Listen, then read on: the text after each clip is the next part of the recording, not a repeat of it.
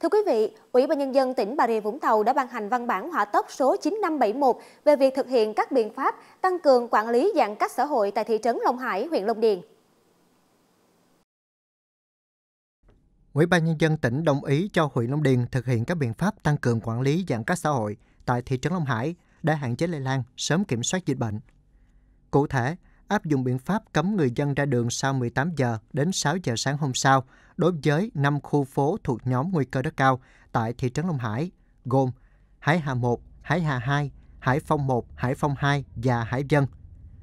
Thời gian bắt đầu từ 19 giờ ngày 30 tháng 7 cho đến khi có thông báo mới. Ủy ban nhân dân tỉnh yêu cầu Quỳ Long Điền đẩy mạnh tuyên truyền sâu rộng, thực hiện triệt để phương châm đi từng ngõ gõ từng nhà ra từng người, hướng dẫn thực hiện giãn cách và các biện pháp phòng chống dịch, tăng cường kiểm tra giám sát, đôn đốc thực hiện nghiêm các quy định về giãn cách, nhất là việc đảm bảo giãn cách giữa cá nhân với cá nhân, gia đình với gia đình, thực hiện nghiêm yêu cầu quy định cách ly phong tỏa,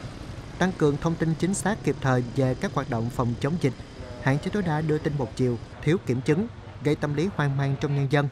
cung cấp nhu yếu phẩm, thuốc, thiết bị y tế cần thiết cho người dân, không để bất cứ người dân nào đói, thiếu ăn, thiếu mặc, thiếu các nhu yếu phẩm thiết yếu,